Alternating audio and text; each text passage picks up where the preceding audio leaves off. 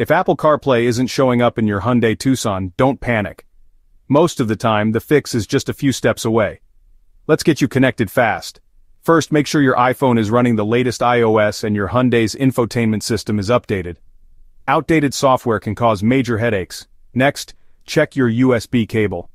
Not all cables are created equal use the original Apple cable if you can, or make sure your cable supports data transfer, not just charging. Still not working? Unlock your iPhone and make sure Apple CarPlay is enabled in your phone's settings just go to Settings, then General, then CarPlay. If your car appears, tap it, and don't forget to grant permission. If nothing shows up, try unplugging and replugging your phone, or restart both your iPhone and your Tucson's infotainment system. Sometimes a simple reset does the trick. Also, turn off Bluetooth temporarily. Some Hyundai models need a wired connection before wireless CarPlay will work. Still stuck?